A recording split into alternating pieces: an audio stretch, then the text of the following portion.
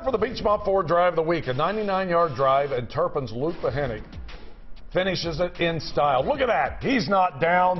A hard-nosed eight-yard touchdown in Turpin's big win tonight. The Beechmont Ford Drive of the Week. And a thanks to Beechmont Ford for the Don't Text and Drive campaign. Oak Hills was the winning school and gets a $2,000 scholarship award.